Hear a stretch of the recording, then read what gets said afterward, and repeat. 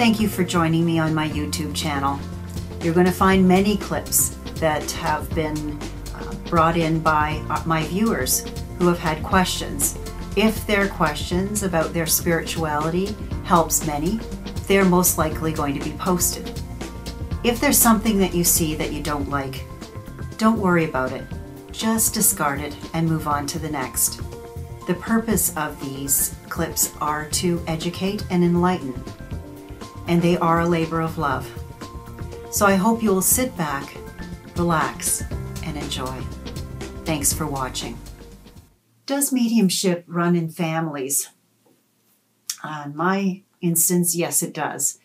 I have had um, generations back to my grandparents that I know of, both sides, my mom and my dad's side, that were interested in this work.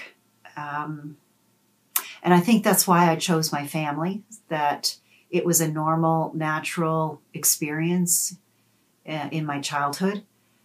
Both parents were very respectful of um, my gifts and would actually ask me about certain things just to get my take on it. I remember my mom asking me questions and I'd give her an answer and she was like, Oh, Carolyn, that's crazy. No. And I'd say, Mom, I'm five years old at the time. Mom, if you don't want to know, don't ask.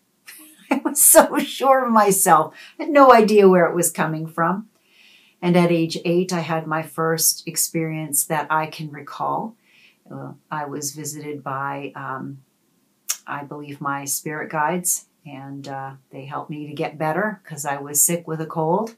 You'll read more of that in my newest book, What You're a Medium. Um, but uh, my dad used to uh, see a psychic medium who turned out to be my mentor who trained me for 20 years. My mother's parents used to go to Lily Dale in um, New York uh, State, and uh, they would go and experience all that Lily Dale has to offer. They used to have seances in their dining room um, every so often. Uh, my grandmother, being a hairdresser, had uh, Jenny Wilder, who was her client and also the medium for Prime Minister Mackenzie King. So there are experiences in our family that um, just seem so normal to me. And again, that's why I think I chose it. Why is it running in families? I'm not quite sure. Um, if if I think about um, my experience, I would have gravitated towards choosing a family prior to getting here who would be uh, open and available and accepting of what I am. So that perhaps is something.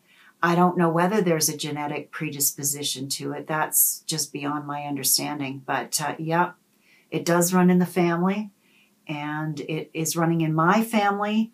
And I would hope that it keeps running all the way into different generations again and again, because I think it's helpful work for so many, uh, providing hope and where there's despair.